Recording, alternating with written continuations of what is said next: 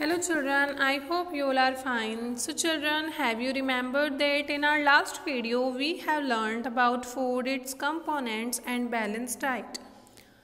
So children, what will happen when you don't eat balanced diet? We get diseases. क्या होगा अगर हम balance diet को follow नहीं करेंगे और हम प्रॉपर फ़ूड नहीं लेंगे तो क्या होगा हम बीमार पड़ जाएँगे कई सारी बीमारियों का शिकार हो जाएँगे So in this video we will continue our chapter 2 with a new topic. Before start the video we have to do some activities. First is suggest any two things we should eat.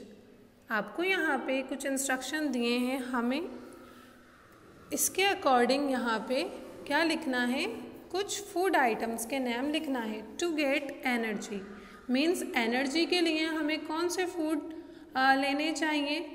कौन से food लेने चाहिए हमें energy के लिए? हमने previous video में बहुत अच्छे से देखा है कि एनर्जी के लिए हमें कार्बोहाइड्रेट वाले फ़ूड लेने चाहिए तो हमें ऐसे फ़ूड आइटम्स लेने चाहिए जिनमें कि कार्बोहाइड्रेट पाया जाएगा।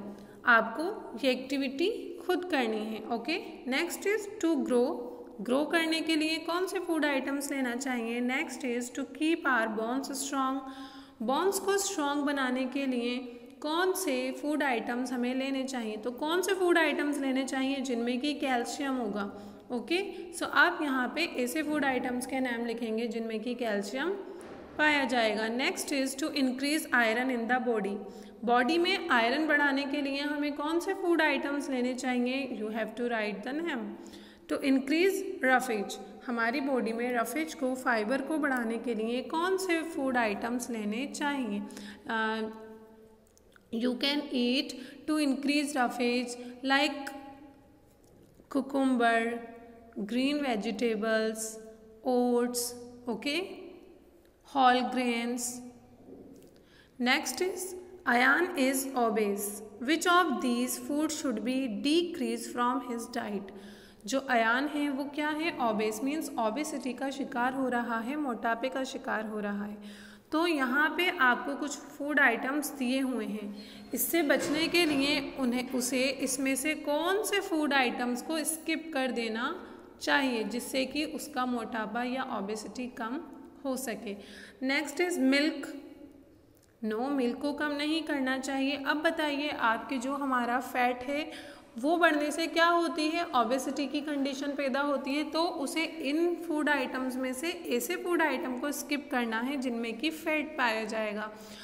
For example butter cheese okay now let's start our new topic disease so what is disease there are so many different kind of diseases okay first of all what is disease disease क्या होती है? A disease is a state in which a function और a part of the body is no longer in a healthy condition disease जो होती जो होती है, वो ऐसी स्टेट या ऐसी कंडीशन होती है हमारी बॉडी की कि जब हमारी जो बॉडी होती है और हमारे बॉडी पार्ट्स होते हैं, वो एक लंबे टाइम तक प्रॉपर वर्क ना करें। ठीक है? मीन्स हम हेल्दी कंडीशन में ना रहें। Lack of any component of food in our diet can cause disease. However, diseases can also occur due to other reason. कई बार क्या होता है कि हमारी बॉडी में मान लीजिए किसी फ़ूड हमारी डाइट में अगर कोई फ़ूड आइटम हम एक लंबे टाइम से स्किप कर रहे हैं और वो उससे जो मिलने वाले न्यूट्रिएंट्स हैं वो हमारी बॉडी को नहीं मिल पा रहे हैं, तब भी हम क्या हो सकते हैं? बीमारियों का शिकार हो सकते हैं। और इसके अलावा कई सारे ऐसे रीज़न्स हैं कि जिससे हम बीमार हो सकते हैं। Okay Diseases can be divided into two types non communicable and communicable generally यहाँ पे डिज़ीज़ को कौन से काइंड्स में डिवाइड किया गया है? टू काइंड्स में डिवाइड किया गया है। टू टाइप्स की डिज़ीज़ बताई गई हैं। एक आती है नॉन कम्युनिकेबल और एक है communicable so children what is non communicable disease यानी वो कौन सी डिज़ीज़ हैं या कौन सी बीमारी है जो कि नॉन कम्युनिकेबल है? मतलब नॉन कम्युनिकेबल टर्म का मीनिंग क्या है? Non communicable diseases are those that do not spread from one person to another so children आपको पता है कि जो कुछ डिज़ीज़ होती हैं, वो एक पर्सन से दूसरे पर्सन में भी चली जाती हैं होता ही है। हम जब कफ यानी जब हम खांसते हैं तो हम क्यों कहते हैं कि हमें हैंकी रखना चाहिए ताकि जो हमारे आ, हमारे खांसने से जो भी जर्म्स हैं जो बाहर आते हैं वो अगर किसी दूसरे पर्सन को लगेंगे तो उसको भी वही डिज़ीज़ हो जाती है। बट हम अभी पढ़ रहे हैं नॉन कम्युनिकेबल डिज़ीज़ यानी ऐसी डिसीज ऐसी डिसीजेज यानी ऐसी बीमारियाँ जो कि वन पर्सन से दूसरे पर्सन में नहीं फैलती हैं। स्प्रेड मीन्स फैलना। यानी एक पर्सन से दूसरे पर्सन में जो नहीं फैलती हैं, उन्हें हम कहते हैं non communicable disease some non communicable diseases are cause when over a period of time we eat food that is deficient in a particular vitamin और मिनरल कुछ नॉन कम्युनिकेबल डिजीज़ेज़ किस वजह से होती हैं? वो इसलिए होती हैं कि जब हम एक लंबे टाइम तक हमारे फ़ूड में किसी भी तरह के न्यूट्रेंट की अगर कोई कमी कंटिन्यू बनी हुई है तो फिर क्या होगा कि हम जब हमारे फ़ूड आइटम में वो न्यूट्रेंट नहीं है। तो जब हम इस टाइप का फ़ूड खाएँगे जो कि न्यूट्रेश न्यूट्रिशन लेस होगा प्रॉपर न्यूट्रिशन हमें उस फ़ूड से नहीं मिलेगा तो हमारी बॉडी में न्यूट्रेंट्स की कमी होने लगेगी। और जब कमी होने लगेगी तो क्या होगा? हम बीमार हो जाएँगे। अब वो कमी जो है वो हमारी बॉडी में हो रही है तो ये किसी दूसरे पर्सन में नहीं फैलेगी ओके क्योंकि हम न्यूट्रिशन लेस फ़ूड ले रहे हैं, यानी ऐसा फ़ूड ले रहे हैं जिसमें न्यूट्रिएंट्स नहीं हैं तो ये हमारी बॉडी तक ही सीमित है ओके सो ये किस टाइप की डिसीज़ होगी? ये नॉन कम्युनिकेबल डिसीज़ होगी। अब बेटा यहाँ पर देखिए, आपको एक वर्ड दिखाई दे रहा है डेफिशेंट तो डेफिशिएंसी क्या होता है? Deficient means lacking in something यानी किसी चीज़ की कमी होना, किसी न्यूट्रेंट की कमी होना ही क्या होता है? डेफिशिएंसी होती है। सो so, जब हमारी बैलेंस डाइट नहीं होगी बैलेंस डाइट में क्या होता है कि हम ऐसा फ़ूड लेते हैं जो कि जितने हमारी बॉडी को प्रॉपर अमाउंट में न्यूट्रिएंट्स चाहिए वो हमारे फ़ूड में मौजूद होते हैं। अगर हम बैलेंस डाइट नहीं लेंगे यानी हमारी बॉडी में कंटिन्यू एक लंबे टाइम से किसी न्यूट्रिएंट की किसी भी न्यूट्रिएंट की वो विटामिन भी हो सकता है वो प्रोटीन भी हो सकता है ओके मोस्टली जनरली क्या होता है विटामिन और मिनरल्स की कमी से डेफिश डेफिशिएंसी डिसीज़ होती हैं। फॉर एग्ज़ाम्पल अगर मान लीजिए किसी की बॉडी में आयरन की कमी कंटिन्यू चल रही है तो क्या होगा? आपको पता है कि जो आयरन होता है iron helps in formation of blood iron खून बनाने का काम करता है तो अगर हमारी बॉडी में आयरन की कमी होगी तो हमारे अंदर खून की कमी होने लगेगी, जिससे क्या होगा? हमारी बॉडी प्रॉपर वर्क नहीं पड़े करेगी। कई सारी और अदर मतलब वीकनेस वगैरह हो जाएगी। तो देखिए बेटा क्या होता है कि जो आ, कुछ नॉन कम्युनिकेबल डिज़ीज़ ऐसी होती हैं जो कि हमारे फ़ूड की वजह से होती हैं। फ़ूड की वजह से मीन्स कि हमारे फ़ूड में अगर किसी भी विटामिन या मिनरल की कमी कंटिन्यू बनी हुई है तो क्या होगा? हम बीमार पड़ जाएँगे। So these are called deficiency diseases तो ऐसी नॉन कम्युनिकेबल डिसीजेज जो कि डेफिशिएंसी की वजह से होती हैं, किसी न्यूट्रेंट की कमी की वजह से होती हैं, वो होती हैं deficiency diseases some common deficiency diseases are anaemia beriberi अब देखिए बेटा, यहाँ पे कुछ कॉमनली आपको डिसीज़ दी हुई हैं जो कि न्यूट्रेंट्स की कमी सॉरी मिनरल और विटामिन की कमी से होती हैं। और विटामिन और मिनरल भी क्या है? एक टाइप के न्यूट्रिएंट्स ही हैं। So anaemia caused by the deficiency of iron जैसा कि अभी मैंने आपको बताया एनीमिया कौन सी डिज़ीज़ को कहते हैं, कौन सी बीमारी को कहते हैं? जब हमारी बॉडी में क्या होगा कंटिन्यू एक लंबे टाइम तक आयरन की कमी रहेगी तो आयरन क्या है? Iron is a mineral. जब हमारी बॉडी में आयरन की कमी बनी रहती है तो क्या होगा? ब्लड की कमी भी बनी रहेगी। जब आयरन ही प्रॉपर नहीं है तो ब्लड फॉर्मेशन कैसे होगा प्रॉपरली? नहीं हो पाएगा। तो इस जो डिसीज़ को फिर हमारी बॉडी में ब्लड की कमी होने लगती है, और मींस ब्लड की कमी मींस आयरन की कमी है हमारी बॉडी में। इसे ही हम कहते हैं anaemia as you can see in this picture this child is suffering from anaemia तो जब खून की कमी होगी बॉडी में आयरन की कमी होगी तो कैसा हो जाएगा शरीर? बॉडी uh, हमारी कैसी हो जाएगी? इस टाइप का दिखाई देने लगेगा। मीन्स उसकी जो स्किन है वो येलोइश होने लगती है ओके आइज़ जो हैं वो भी येलो येलो होने लगती हैं ठीक है? ये सब क्या होता है? खून की कमी की वजह से होता है ब्लड की कमी की वजह से होता है और ब्लड किससे फॉर्मेट होता है? आयरन से। Okay next is beriberi caused by the deficiency of vitamin B beriberi भी एक टाइप की नॉन कम्युनिकेबल डेफिशिएंसी डिसीज़ होती है, जो कि कौन से विटामिन की कमी से होती है? विटामिन बी की कमी से होती है। ऐसी कई सारे डिसीज़ हैं। फॉर एग्जांपल स्कर्वी एक डिसीज़ होती है, जो कि विटामिन सी की कमी से होती है। उसमें क्या होता है कि जो हमारे गम्स होते हैं मीन्स जो हमारे टीथ होते हैं, मसूड़े होते हैं, इनसे ब्लीडिंग होने लगती है। हमारे टी ओके मीन्स हमारे जो गम्स हैं वो वीक होने लगते हैं, उनसे ब्लीडिंग होने लगती है। मतलब क्या है कि वाइटामिन सी की कमी है okay as you can see in this picture child suffering from beriberi okay next disease is rickets so बेटा रिकेट्स क्या होती है? Rickets sorry rickets caused by the deficiency of vitamin D vitamin D की जब body में कमी हो जाती है तो क्या होता है? एक डिसीज़ हो जाती है, जिसे हम कहते हैं rickets okay so rickets rickets caused by the deficiency of vitamin D rickets में क्या होता है कि जो बोन्स होती हैं, वो बैन होने लगती हैं बैंड होने लगती हैं, मुड़ने लगती हैं, यानी हड्डियाँ बहुत कमज़ोर हो जाती हैं। बोन्स की फॉर्मेशन के लिए कैल्शियम भी बहुत इंपॉर्टेंट होता है। ओके अब देखिए कि कैल्शियम का और वाइटामिन डी का क्या कनेक्शन होता है।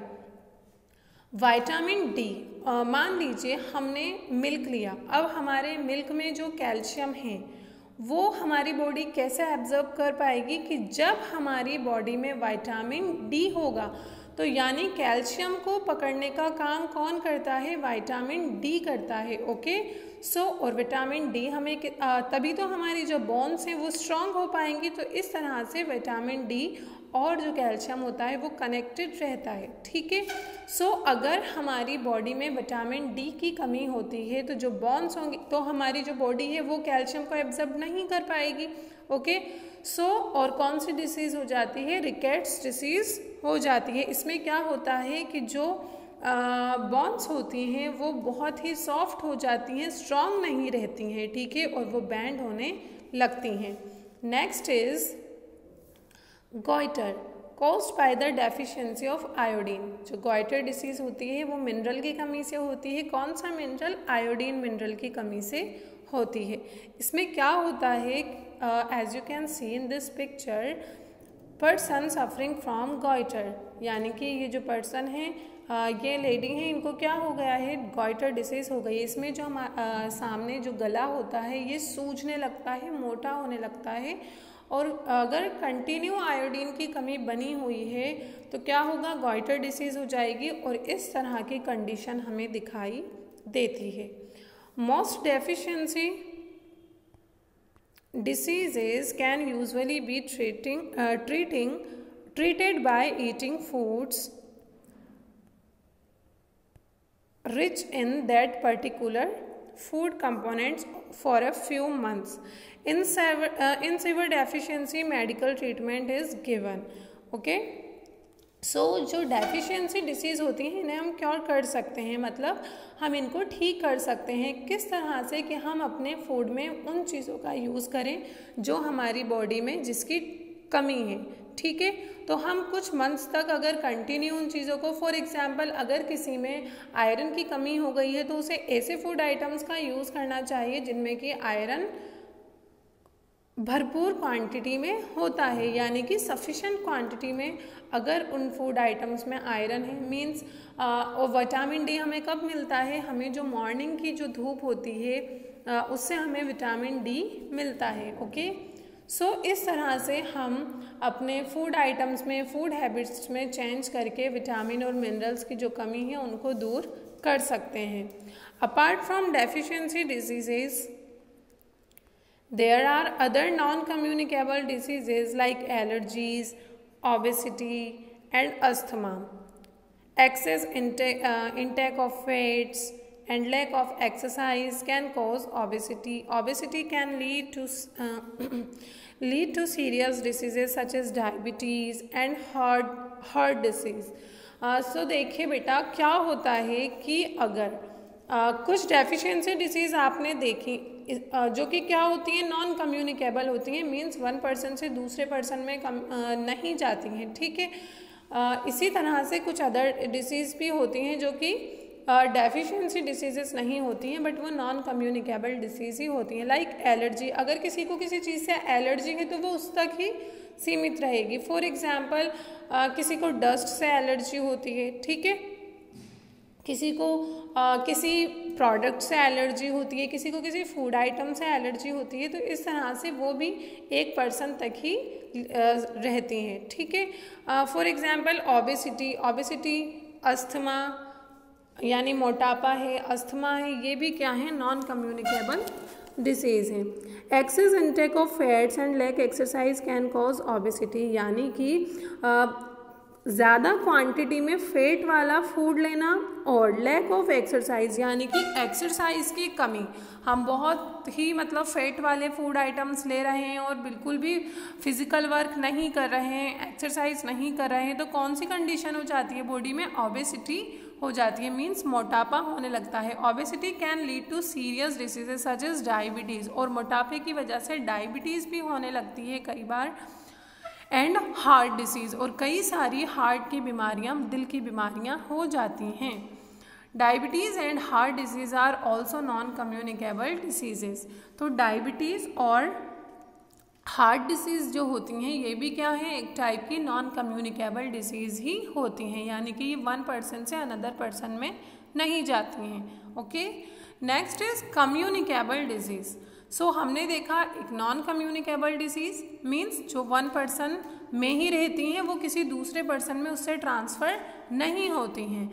So communicable diseases are those that can spread from one person to another so communicable disease यानी कि कम्युनिकेबल जो बीमारियाँ होती हैं, वो कौन सी होती हैं जो कि वन पर्सन से अनदर पर्सन में फैलती हैं, यानी कि एक व्यक्ति से दूसरे व्यक्ति में फैलती हैं। कम्यू फॉर एग्ज़ाम्पल अभी ये तो हमारे रिसेंट का ही है, जैसा कि हम देख रहे हैं कि कोविड ओके कोरोना जो है वो तेज़ी से फैल रहा है तो ये क्या है? ये एक टाइप की कम्युनिकेबल डिसीज़ ही तो है जो कि अगर मान लीजिए कोई एक पर्सन है जो कि कोरोना डिसीज़ से क्या है सफ़र कर रहा है, अगर उसने आ, कहीं उसने कहीं भी मान लीजिए उसने स्नीजिंग की या उसने कफ किया अब जो उसके माउथ से या उसके नो से या अगर उसके कहीं पर भी जो कोरोना वायरस है वो क्या होगा? अगर उससे कोई दूसरा पर्सन टच होता है तो उससे ट्रांसफ़र हो जाएगा वो वायरस तो ये भी एक टाइप की क्या हुई? कम्युनिकेबल डिसीज़ ही हुई जो वन पर्सन से अनदर पर्सन में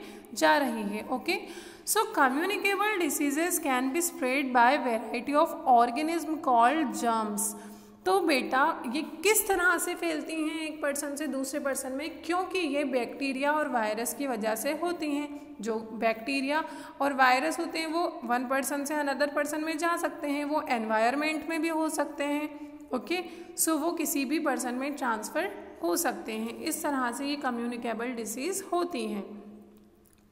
When an infected person cough or sneeze, sneezes, these germs are released into the air and can infect a healthy person तो जब भी अगर मान लीजिए कोई भी कम्युनिकेबल डिसीज़ है, अगर उससे कोई एक पर्सन इन्फेक्टेड है, यानी उसे वो डिसीज़ हो रही है तो जब भी वो खांसता है या छींकता है तो जो जम्स हैं वो क्या होंगे? वो एयर में रिलीज़ हो जाते हैं, वो बाहर हमारे एनवायरनमेंट में आ जाते हैं और वो एक जो हेल्दी पर्सन होता है उस पर क्या हो जाएँगे उस पर ट्रांसफ़र भी हो सकते हैं और उससे ये जो हेल्दी पर्सन है वो भी क्या हो सकता है इन्फेक्टेड हो सकता है। तो ये एक दूसरे से दूसरे पर्सन में किसी भी रीज़न से गई, लेकिन ट्रांसफ़र हुए ना जम्स वो एक आदमी से दूसरे आदमी में फैलेंगे, एक व्यक्ति से दूसरे व्यक्ति तक जाएँगे तो इस तरह से ये होती हैं communicable disease Sharing an infected person's towels and clothes can also spread germs to a healthy person. मान लीजिए कि कोई भी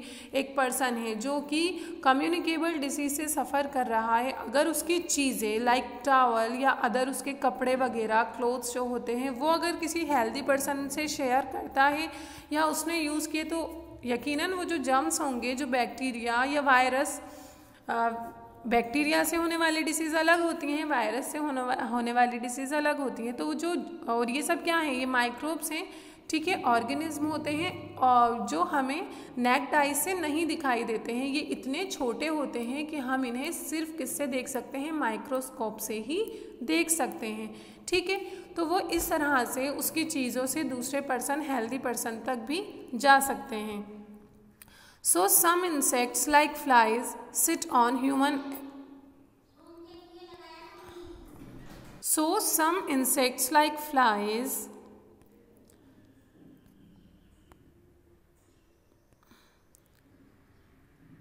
sits on human excreta and garbage which contains germs. These same flies can sit on foodstuffs and spread those germs Eating food and water having these germs can cause disease like typhoid and cholera.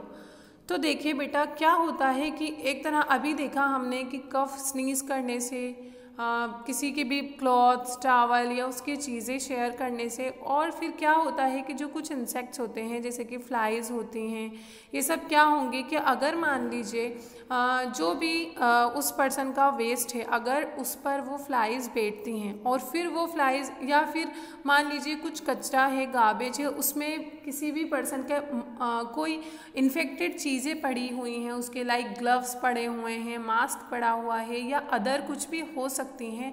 उन पे जो flies बैठेंगी, फिर वो flies क्या होंगी? तो हम क्या कहते हैं कि जितने भी हमारे फ़ूड स्टफ्स होते हैं, उनको हमेशा कवर्ड करके रखना चाहिए। अगर वो अनकवर्ड फ़ूड पर जाकर बैठेंगी तो जो फ्लाइज हैं उनमें वो बैक्टीरिया लग जाते हैं और जब वो किसी दूसरी चीज़ों पर जा कर के बैठती हैं तो वो वो बैक्टीरिया वहीं रह जाते हैं, वो छूट जाते हैं और फिर उसको कोई हेल्दी पर्सन यूज़ करेगा तो वो इस तरह से ट्रांसफ़र हो जाती हैं। इसका कॉमन जनरल एग्ज़ाम्पल है टाइफाइड टाइफाइड जो होता है, वो क्या होता है कि अगर हम इम्प्योर वाटर या टाइफाइड जो होता है वो एक बैक्टीरिया से होता है जिसे बोलते हैं हम साल आ, साल्मोनेला टाइफी ठीक है? अगर मान लीजिए उस वाटर में वो बैक्टीरिया मौजूद है ठीक है? और वही किसी हेल्दी पर्सन में वो यूज़ किया इस तरह से अदर कम्युनिकेबल डिसीज़ की जम्स भी दूसरे आ, एक पर्सन से दूसरे पर्सन में जा सकते हैं या एक किसी भी मीडियम से दूसरे पर्सन में ट्रांसफ़र हो सकते हैं ओके सो so, फिर वो हेल्दी पर्सन को भी इन्फेक्टेड करते हैं okay? So malaria and dengue are diseases cause by mosquitoes mosquito bites when a mosquito bites a person infected with malaria it sucks in malaria germs along with the blood when the same mosquito bites a healthy person that person can get infected with malaria tuberculosis chickenpox and common cold are some other communicable diseases इसी तरह से क्या होता है? Malaria और dengue जो होता है आ, ये भी आ, इन मान लीजिए कोई मॉस्किटो उसने किसी डेंगू या आ, जो मलेरिया इन्फेक्टेड पर्सन है ओके उसको बाइट किया तो या फिर जब वो उसका ब्लड सक करेगा तो उसके ब्लड में वो वायरस बैक्टीरिया जो भी है वो क्या होंगे मौजूद होंगे तो वो ब्लड के साथ साथ वो जो जर्म्स हैं वो आ जाएँगे और जब वो किसी दूसरे हेल्दी पर्सन को बाइट करेगा, वही सेम जो मॉस्किटो है तो फिर वो उसके ब्लड में भी चले जाते हैं। तो इस तरह से वो हेल्दी पर्सन भी इन्फेक्टेड हो जाएगा। Okay okay? इसी तरह से बहुत सारी कम्युनिकेबल डिसीज़ होती हैं लाइक ट्यूबरक्यूलोसिस जिसे टीबी बोलते हैं चिकन पॉक्स छोटी माता जिसे कहा जाता है। कॉमन कोल्ड जनरली जो कॉल्ड होता है।